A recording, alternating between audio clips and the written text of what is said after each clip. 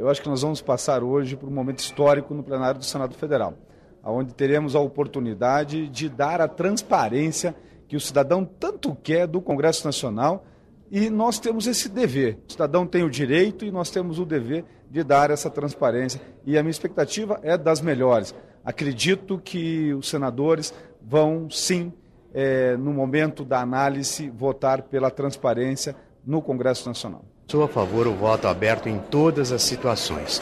Discordo, inclusive, daqueles que estão falando do voto fechado para o veto.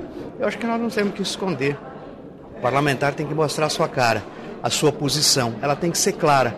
O governo, quando faz um veto, a presidente não vai lá e dizer eu vetei. E por que, que eu não posso dizer eu não concordo? Como também, quando eu não concordar com uma autoridade, eu também tenho que justificar e dizer por que, que eu não concordo e fazer um voto aberto. Então, eu acho que isto é uma maneira de se esconder.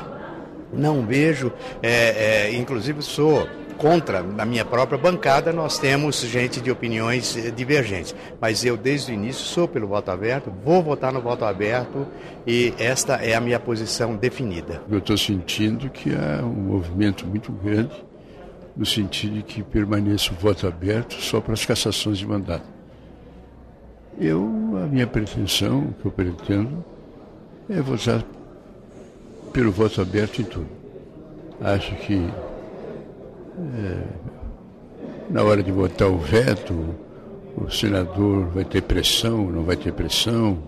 Na hora de votar uma autoridade, é, vai votar um ministro, o Supremo, votar contra, vem aquele. Acho que essas coisas são secundárias. O importante é votar de acordo com a consciência e o importante é que o povo saiba como nós estamos votando. Nós, integrantes do PSB do Senado Federal, iremos votar voto aberto em todas as circunstâncias.